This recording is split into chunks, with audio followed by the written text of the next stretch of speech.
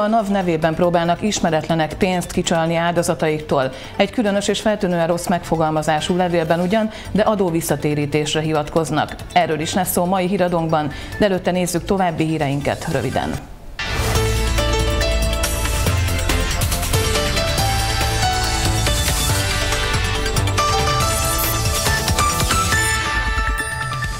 Elkezdődött a Nagykátai út felújítása, ideiglenes forgalomkorlátozásra is számítani kell.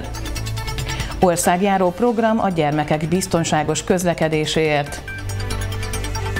És a szurkolókkal együtt töltöttek el hangulatos délutánt a férfi kézilabda csapat tagjai.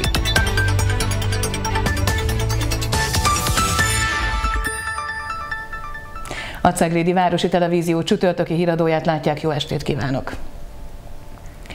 A napokban ismét több bejelentés érkezett a Nemzeti Adó és Vámhivatalhoz, miszerint adathalászok kíséreltek megszerezni ügyfélkapus bejelentkezési és bankkártya adatokat közölte a NAV. A hatóság felhívja a figyelmet, hogy senki ne dőljön be a csalóknak, akik azt használják ki, hogy a NAV manapság már nagyrészt elektronikusan kommunikál ügyfeleivel. A csalók által a NAV nevében írt adóvisszatérítés lehetőségére felhívó elektronikus levelek, SMS-ek, hibás nyelvi fordulatokat, tegező megszólítást, értelmezhetetlen szövegrészleteket tartalmaznak. Innen könnyen felismerhető, hogy valami nem stimmel. A csaló e-mailek és SMS-ek általában egy linket is tartalmaznak, ami a gyanútlan ügyfelet egy felugró űrlapra vagy honlapra vezeti.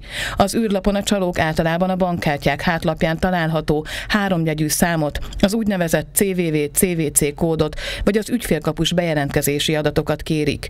A NAV soha semmilyen körülmények között nem kér bankkártya adatokat, így ha ilyen felhívást látunk a nevükben, akkor biztosak lehetünk benne, hogy valaki megpróbál átverni minket. Ha valaki megadja a bankkártya adatait, akkor illetéktelenek pénzt emelhetnek le számlájáról. Elkezdődött a Nagykátai út felújítása. A régi, rossz állapotú burkolat marását követően meleg hengerelt aszfaltot terítenek majd le. A munkák idején ideiglenes forgalomkorlátozásra lehet számítani. A Nagykátai úton végzett munka is része annak a sikeres pályázatnak, amely során Cegléd 130 millió forintot nyert belterületi utak, utcák felújítására. Már dolgoznak a munkagépek a Nagykátai úton, elkezdődött a felújítás. Elsőként felmarják a régi burkolatot, majd szintbe helyezik a csatorna szemeket és meleghengerelt aszfaltot terítenek le az útra. Így megszűnik a kátyús, nehezen járható szakasz a város ezen részén is. A felújítás során ideiglenes forgalomkorlátozásra kell számítani, tájékoztatta szerkesztőségünket a kivitelező. Az új út költségét is tartalmazza az a 130 millió forint pályázati forrás, amit az önkormányzat nyert belterület területi utak felújítására. Ebből a pénzből újult meg a Körösi út, a Bercsényi Szolnoki úti csomópont és a Damjani utca, valamint a most még felújítás alatt Mező utca és a Nagykátai út. Elkezdődött a zsinagóga előtti tér felújítása. A rossz állapotban lévő rendezetlen terület hamarosan teljesen új arcát mutatja. Szép hangulatos területet alakítanak ki padokkal, növényekkel, és később szökőkút is lesz majd a téren. Néhány napja kezdődött el a zsinagóga előtti tér felújítása. A városvezetés célja, hogy hangulatos, sok zöld felülettel tarkított közösségi térré váljon a most még rendezetlen terület. A munkák első szakaszában a térburkolat újul meg, valamint a növényzet. Szép a térhez és a környezethez passzoló növényeket ültetnek, később pedig szökőkút teszi még barátságosabbá a templom előtti részt. Abony volt az egyik állomása az ellenőrzött magyar élelmiszert népszerűsítő Kópralli autóversenynek. A hazai élelmiszer kereskedelem meghatározó üzletánca Kelet-Magyarország nevesebb élelmiszeripari központjait járta körbe, Szegettől Hajdúszoboszlóig. Az eseményen több mint 110 autós vett részt.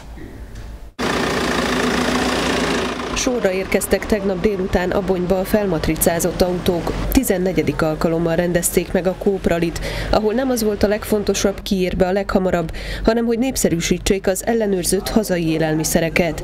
A 20 éve alakult üzletlánc 131 boltot üzemeltet. Tipikusan ugye a vidéki településeken vagyunk erősebbek, és Budapesten kisebb a, a jelenlétünk. Ezzel együtt én azt hiszem, hogy a, az, az, az az üzletfilozófia, amit képviselünk, tehát hogy a családok napi szintű ellátását a lehető legjobb minőségű termékkel biztosítsuk, ezt egyre több és egyre színvonalasabb üzletbe tudjuk megvalósítani. Sokkal inkább a tudatos fogyasztót próbáljuk kiszolgálni, aki figyel arra, hogy milyen összetételűek a termékek, hogy éppen milyen mondjuk úgy, hogy mentese vagy sem, allergén mit tartalmaz, mit nem, és ezt azt hiszem, hogy örülni kell neki, hogy az emberek ezt ténylegesen figyelemmel kísérik és igényesek e tekintetben.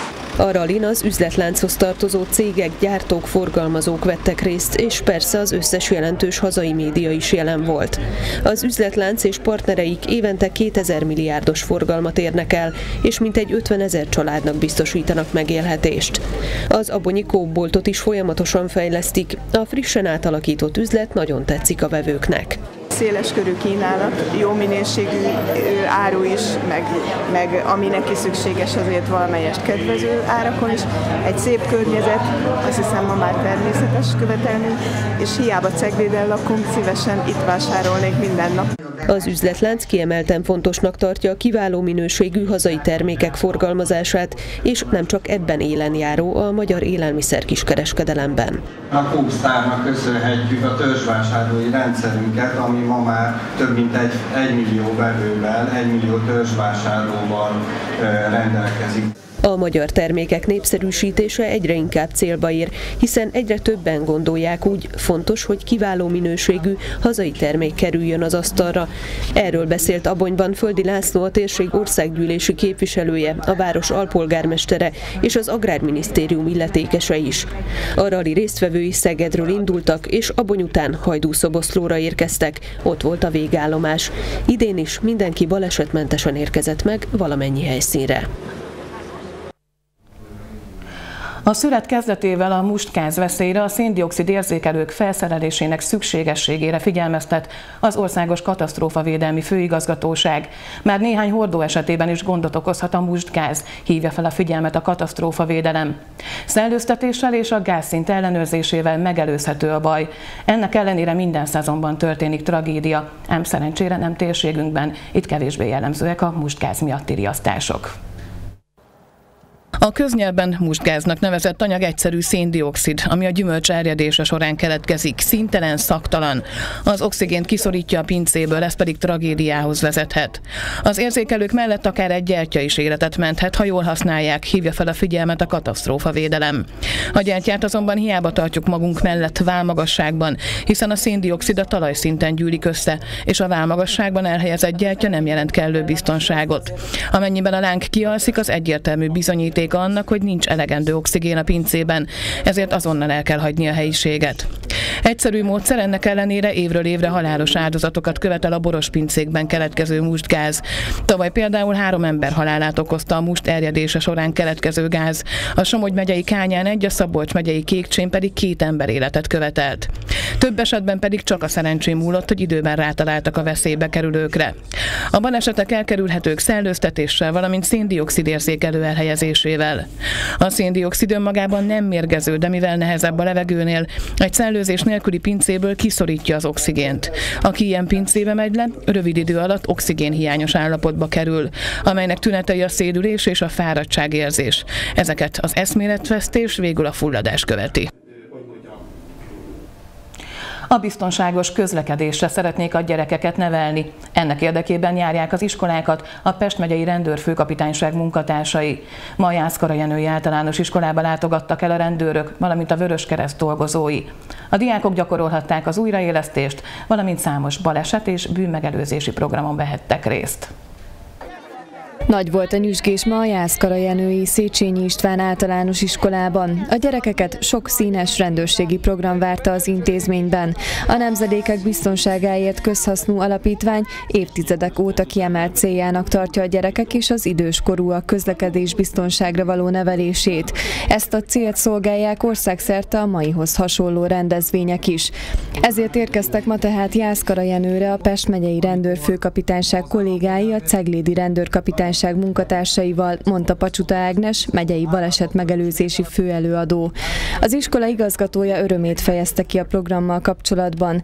Antalné Petrovics Erika elmondta, az intézményben, amikor megalkották a pedagógiai programot, a közlekedés biztonságra tették a hangsúlyt, hiszen rengeteg gyermekbaleset történik az országban. Az iskolának fel kell vállalni azt a feladatot, hogy a közlekedés biztonsággal foglalkozzon. Egyébként is nagyon jó kapcsolatot tartottunk és tartunk a helyi rendőrőrsel. Sokszor tartanak nálunk különböző rendezvényeket, minden évben visszatérően megrendezzük a közlekedésbiztonsági napot, és hát nagyon örültünk neki, hiszen ezeknek a céljainknak mint egy kiteljesedése az, hogy most egy ilyen szinte egésznapos program keretében a gyerekek a közlekedésbiztonsággal, a bűnmegelőzéssel, ezzel a témával találkozzanak. A gyerekek örömmel vettek részt a különböző foglalkozásokon. Roják Vince például nagyon jól érezte magát mindegyik programon. Szerintem ez a mai nap ez nagyon hasznos, hogy így ezt itt megrendezték, ugyanis így ezáltal többet tudunk meg a rendőrség munkájáról, és hogy milyen önfeláldozó munkájuk van, tehát hogy minden nap veszélyeztetik az életüket és az embereket megvédik. A kicsik beülhettek a rendőrautóba is, de különböző új és testrész lenyomatokat is megnézhettek, valamint el is készíthették sajátjukat. A programon részt vettek a Vörös Kereszt munkatársai is, hogy megmutassák a diákoknak az első segélynyújtás alapjait. Nem lehet tudni, mikor kerülnek olyan helyzetbe, amikor szükség lehet erre a tudásra, mondta Pacsuta Ágnes. A rendezvényre számos ajándékot küldött a Nemzedékek Biztonságáért Közhasznú Alapítvány. Sok más mellett kerékpárt, társasjátékot, labdákat és édességet is kaptak a kicsik. Ceglédi kézilabda játékosok és szurkolóik találkoztak tegnap délután kötetlen keretek között egy horgásztanyán. A jelenleg NB1B-ben játszó csapat célja, hogy a következő évad után az első osztályba visszakerülve folytathassa a bajnoki pontgyűjtést.